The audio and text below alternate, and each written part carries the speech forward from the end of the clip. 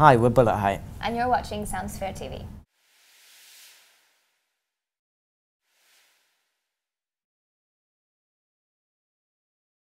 I've, I've been, oh, I've been on tour.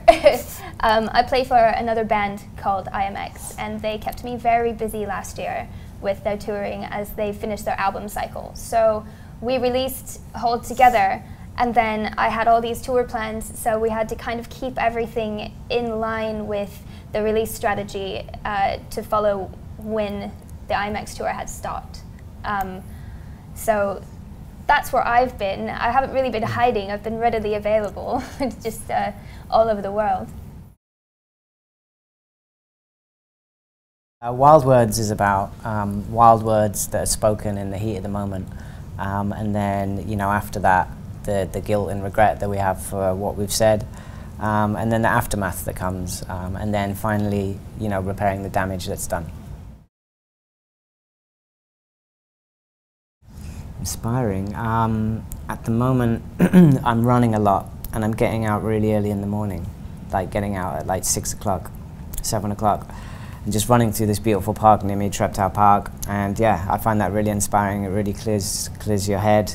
Um, you've got this, yeah, through the trees and the light at this time of year is really nice. So for me, exercise and nature is inspiring. This is going to sound really boring, but uh, in comparison, but um, I'm at the moment planting a chili garden, and uh, I don't find it to be necessarily inspiring, but it's something that I like to do. I'm gonna, I've got like three of the hottest plants, and I'm uh, gonna see. Oh wow! What are you doing the? I'm, I'm gonna try to make my own hot sauce. Wow. So um, yeah, I've got a chili garden, and we'll see how that goes. Can you make me a jar of this chili sauce? I don't know if you can handle it, Jon. Okay, yeah, you go, you go hot. We'll see. Yeah.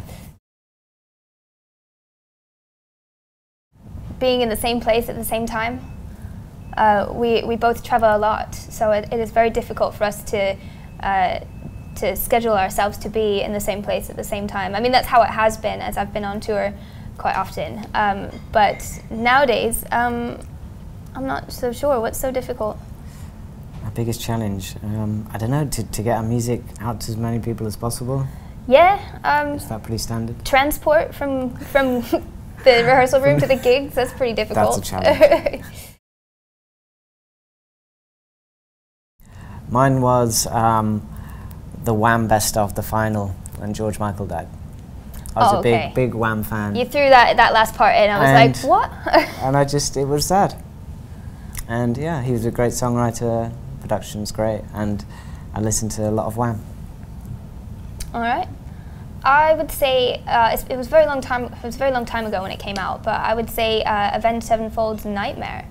Uh, I think that's what it was called. Um, just because that was they, it was a very personal album for them, and they released uh, they released a song that the drummer had handed in right before he had committed suicide, and they kept his original scratch vocals on it. And listening to that was just very uh, hair raising, and then listening to the rest of the album of how they dealt with it, um, it did a lot, a lot of emotion in that. Touring, touring definitely, getting out there and harvesting my chili garden.